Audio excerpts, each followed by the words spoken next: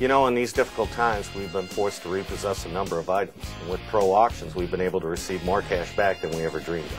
Pro Auctions also has a 1 million square foot storage facility, which means we don't have to find a place to keep our items until they are sold.